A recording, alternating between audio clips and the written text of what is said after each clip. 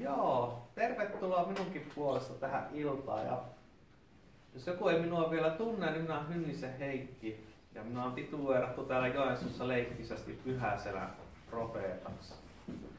Minun olisi tosissaan kaksi viikkoa sitten pitänyt pitää tämä opetus, mutta minun valitettavasti iski kuin pöpö ja oli pakko perua sitten. Ei viittinyt kuumeisena tuo tartuttaa kaikki, jota kuolemantautia.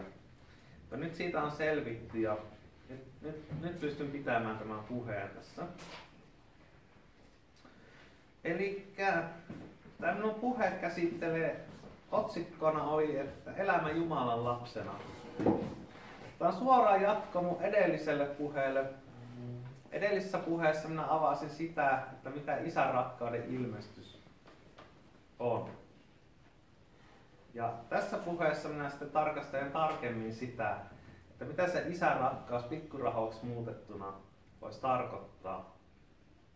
Ja mitä se meidän henkilökohtaisen elämän tasolla on. Ja tässä aika monta, monta, tässä puheessa on monta raamatun kohtaa, koska raamattu on vähän semmoinen, niin kuin viimeksi sanoin, että yhden otsikon alle kaikki aiheeseen liittyvä, vaan kaikki on ripoteltu ympäri sitä raamattua. Jos tässä haluaa joku kokoavan teeman, niin sitten pitää sieltä täältä vähän noukkia. Ja tämä on semmoinen, että te olette varmasti kuulleet näistä asioista ties miten monta kertaa, te jotka olette pitempään uskossa. Eli en väitä, että niin opetan nyt mitään mullistavaa uutuutta. Mutta ehkä uutta on se, että minä niin nivon nämä tietyt eri teemat yhden te- pääteeman alle, mikä isän rakkaus meitä kohtaa. Ja mottolauseena tähän tai kohtana on tämä toisen korintilaiskirjeen 6. luku 18 ja se Paavali kirjoittaa siteeraten profeetta Jesajaa. Ja olen aivan teidän isänne ja te olette minun poikiani ja tyttäriäni. Näin sanoo Herra, kaikki valtias. Et, että tota, her, Herra on meidän kaikkivaltias Jumala, on meidän taivaallinen isä. Tämä on hyvä, tämä on hyvä sisäistää ihan kunnolla. Jumala on meidän isämme. Me olemme hänen poikiaan ja tyttäriään. Ja joka tapauksessa niin tämä, että me ollaan Jumalan lapsia, hänen poikia ja tyttäriään, tämä uuden liiton todellisuutta. Jesaja siteerasi sitä vanhassa liitossa mutta se ei ollut vielä silloin samalla tavalla todellisuutta kuin tässä uudessa liitossa. Uuden liiton perustus on se, mitä Jeesus on tehnyt ristillä meidän puolesta. Tässä oli taannoin semmoinenkin liike olemassa kuin Jumala ilmestyspojat. Ja siinä lanseerattiin vähän semmoista mallia, että Jumalan lapset on niin kuin superkristittyjä, jotka tekee valtavia ihmeitä ja menestyvät. Ja ja heijastaa Jumalan luontoa, niin tämä minun puhe nyt ei ole ihan semmoista. Tämä minun puhe on, on jotakin semmoista, mitä me koen vuosien saatossa oppineeni Jumalalta. Ja haluan antaa ikään kuin teidän käyttöön näitä asioita. Eli tämä on ensimmäinen totuus, mikä sinun on syytä sisäistä. Kun sinä uskot Jeesukseen ja olet kastettu, niin se on kaikki valtia Jumalan poika ja tytär pienellä kirjaimella. Sekin on muistettava. Ja Jeesus Kristus on poika isolla p Hän on ihan erityisellä tavalla isän poika. Mutta Jeesus on tavallaan me isoveli ja me ollaan hänen perheväkeään. Me ollaan Jeesus poikia ja tyttäriä pienellä kirjaimella. Ja tämä on uuden liiton todellisuutta. Tämä on, tämä on oikeastaan voisi kiteyttää, että tämä on uusi liitto. Ja niin kuin Paavali kirjoittaa, että jos me olemme lapsia, niin me olemme myös perillisiä, Jumalan perillisiä ja Kristuksen kanssa perillisiä. Niin minä ajattelin tämän puheen aikana avata joitain kohtia raamatusta, että mitä se meidän perintö Jumalan poikina ja tyttärinä, hänen lapsinaan voisi olla. Minä keskityn nyt aika lailla sen perinnön tämänpuoleiseen osaan. Totta kai se, että me kerran saa olla Jumalan valtakunnassa taivaassa, iäkaikkisessa elämässä, niin se on Jumalan lapsen suurin ja korkein päämäärä. Se odottaa meitä. Mutta Jumalan lapsena on perintöä myös tässä ajassa, tässä elämässä. Mitään hirveän menestysteologista settiä en aio antaa, mutta, mutta ne on kuitenkin se näkemys, että Jumala on meidän rakastava Isä. Ja hänellä on hyvä tahto meitä kaikkia kohtaan. Ja tämä isän rakkaus on se pääteema, mikä läpäisee koko tämän mun opetuksen. Kun mennään tähän Jumalan lapsena, poikana ja tyttärenä elämiseen, niin se perustava perustus on mun nähdäkseni armo. Efesolaiskirjeestä toinen luku ja kahdeksan. Armosta Jumala on teidät pelastanut antamalla teille uskon. Pelastus ei ole lähtöisin teistä, vaan se on Jumalan lahja. Se ei perustu ihmisen tekoihin, jotta ei kukaan voisi ylpeillä. Eli itselläni oli joskus jonkinlainen oivallus se, että tavallaan kun me puhutaan armosta, niin se on isän rakkautta. Voisi sanoa, että armo on isän rakkauden perustava ilmenemismuoto. Siinä korostuu ennen kaikkea hänen akape-rakkautensa. Akape-rakkaus on rakkautta, mikä ei aseta mitään ehtoa. Armo on Jumalan mielisuosio meitä kohtaan, jota me ei ole millään tekemisillämme koskaan ansaittu. Ja Paavali kirjoittaa tässä, että se on ihan pelastuksenkin perustus. Armosta te olette pelastettu uskon kautta, ette tekojen kautta, niin kuin vanha käännös sanoo. Koko meidän pelastus perustuu siihen, mitä Jeesus on tehnyt ristillä meidän puolesta. Ja Jumalan armo tulee kaikille, jotka uskoo Jeesukseen ja on kastettu. Usko Jeesukseen ja kaste on pääsy uuteen liittoon, armon osallisuutta. Armo on uuden liiton perustus. Se on se pohja, minkä päälle voit rakentaa kaiken muun.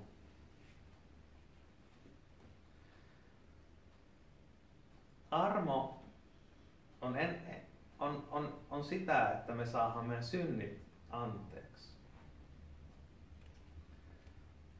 Kun me ollaan tultu uskoon, me ollaan koettu se uudesti syntymisen peso, missä kaikki meidän synnit on anteeksi annettu.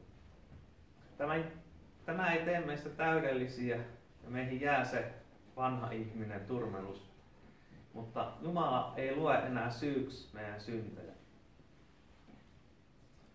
Jumala antaa anteeksi mielellään. Hänen armonsa on hyvin suuri. Hän antaa anteeksi meidän synnit ja pahat teot. Mutta Jumala ei ota seurauksia välttämättä pois. Ja Jumalan armo on, on tämmöistä meitä kohti tulevaa, meidät syliinsä ottavaa. Se huuhtoo syyllisyyden pois. Armossa on myös vajavaisena hyväksymisen taso. Se ei ole vain sitä, että me saadaan synnit anteeksi, vaan me voidaan kärsiä kaikenlaisesta arvottomuuden häpeän ja kelvottomuuden tunteesta. Ja Jumalan isän rakkaus, hänen armonsa ottaa tämän, hoitaa tätä. Hän ottaa meidät vaja, hyväksyy meidät vajavaisina. Hän palauttaa meidän oma arvon tuntoa. Hän hoitaa meitä ehjäksi armollaan. Armo on myös voima, millä me voidaan vastustaa syntiä. Armo, Jumalan rakkaus on jotakin, mikä minä olen itse kokenut ainakin, että se syrjäyttää kaikkia syntiä. Ja synti ja Jumalan armo ei loputtomasti viihdy toistensa kanssa. On se armo hävittää, työntää pois sitä syntiä. Ei ole ihan yhdentekevää, että miltä pohjalta sinä kilvottelet. Vaan nuorena kristittynä jostain syystä tuli sellainen outo ajatus, että Jeesus on hirveä ankara. Ja muistan niitä rukouksiakin niiltä ajoilta, että minä sanoin Jeesukselle, että Herra, että me tiedät, että sä oot ankara ja tinkimätön tuomari. Ja, ja sillä premissillä kilvottelu oli aikamoista tuskaa. Voisinpa sanoa, että se ei ollut yhtään hauskaa siitä premissistä käsin kilvotella.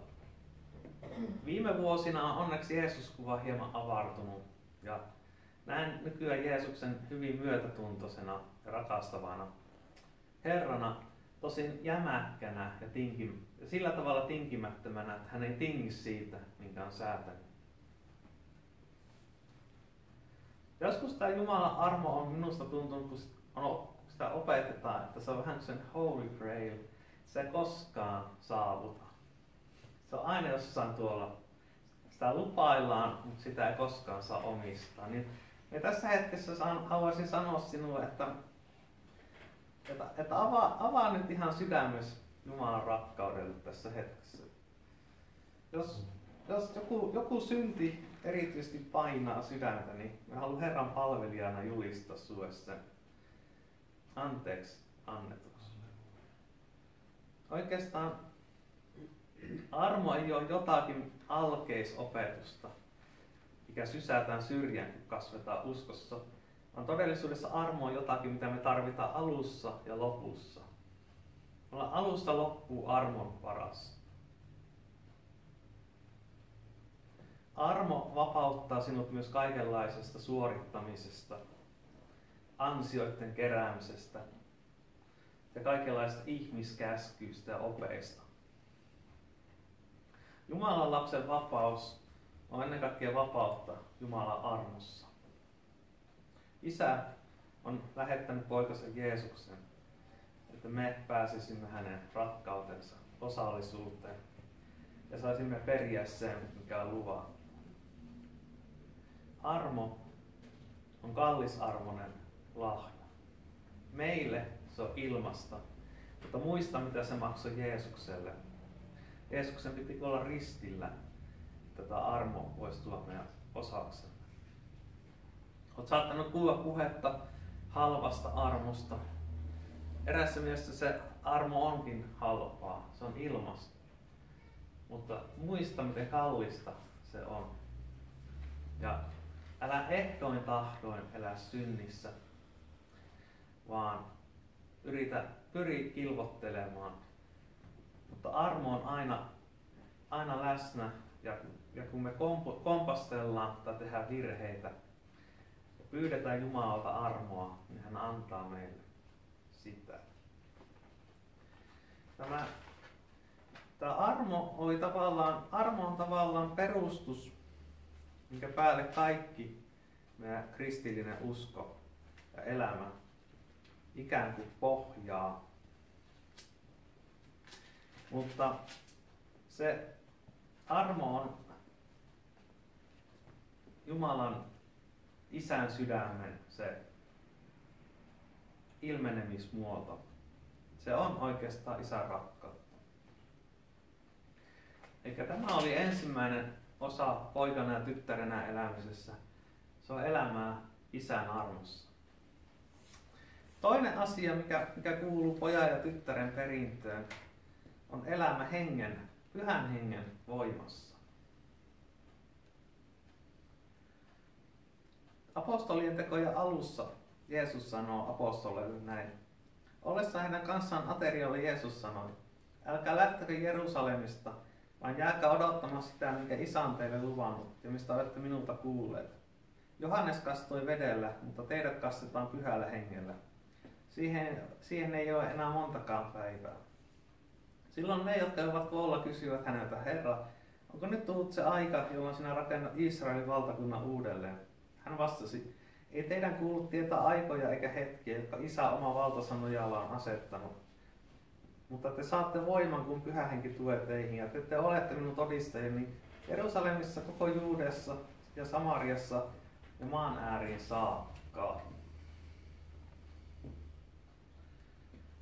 Eli Jeesus tässä lupaa apostoleille ja meille kaikille se, pyhä henki tulee, niin me saadaan voimaa.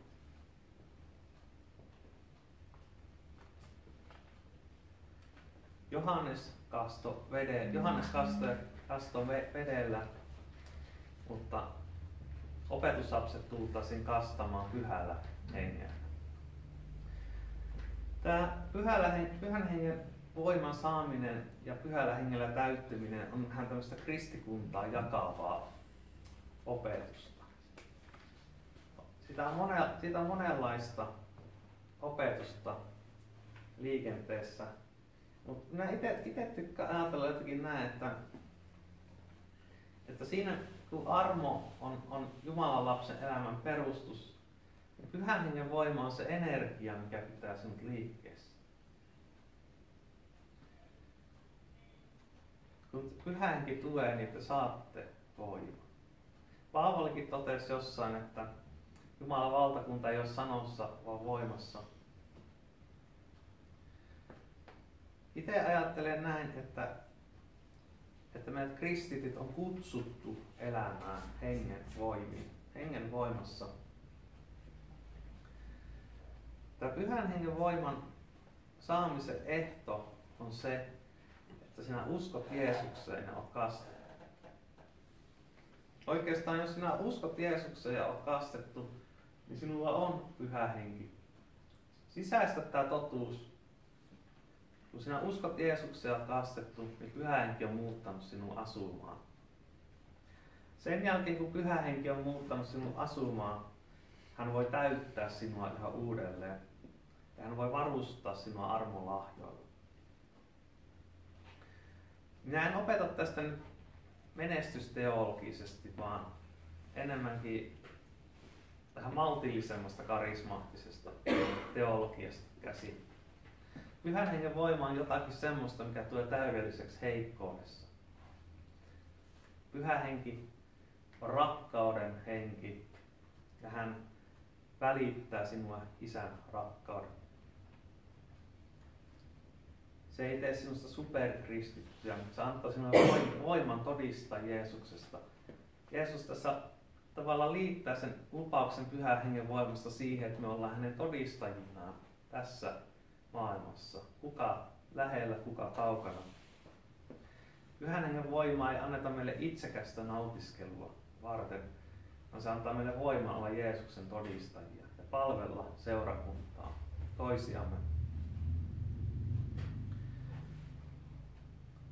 Ja itselläni tavallaan on, sekin, sekin on ollut näkökulman muutos, että tavallaan tämän karismaattisuuden, pyhän hengen voiman perustuksenakin on, on isän rakkaus. Kuten sanoin, pyhä henki on rakkauden henki. Ei ole sattumaa, että Paavali liittää sen kauniin korintilaiskirjan 13. luvun rakkaudesta armolahjojen yhteyteen. Karismaattisuus, jota rakkaus ei kaitse, voi muuttua repiväksi ja hajottavaksi asiaksi. Mä muistan, olin nuori kristitty, niin Jumala an, soi minulle armolahjoja. Mä oon ihmetellyt, että miksi Jumala antoi niin arvokkaita lahjoja niin epäkypsälle ja rikkinäiselle ihmiselle kuin minä. Ja olen sitten siitä lähtien vuosien saatossa harjoittanut hengen lahjoja ja hengen voimassa elämistä. Mutta jotenkin kun 2016 syksyllä Jumalan isärakkaus kirkastui mulle, niin tavallaan se, se minun karismaattisuutenikin sai, sai paitsi uutta voimaa, niin se myös alkoi muuttua ihan rak- rakkaudellisemmaksi siitä tuli jotakin semmoista, minkä avulla minä olen voinut välittää isän rakkautta muille. En voi mennä tässä hirveän syvälle erilaisiin armolahjoihin, mutta pyhä henki varustaa jokaista kristittyä erilaisilla armolahjoilla. Minä vastustan semmoista opetusta, että armolahjat ei kuulu enää tähän aikaan. Ja en hirveästi tykkää myöskään semmoisesta kristillisyydestä, jossa ollaan hirveän kielteisiä kokemuksia ja tunteita kohtaan. Sinänsä ihmiset kokevat pyhän hengen läsnäoloa hirveän yksilöllisillä tavoilla, enkä lanseeraa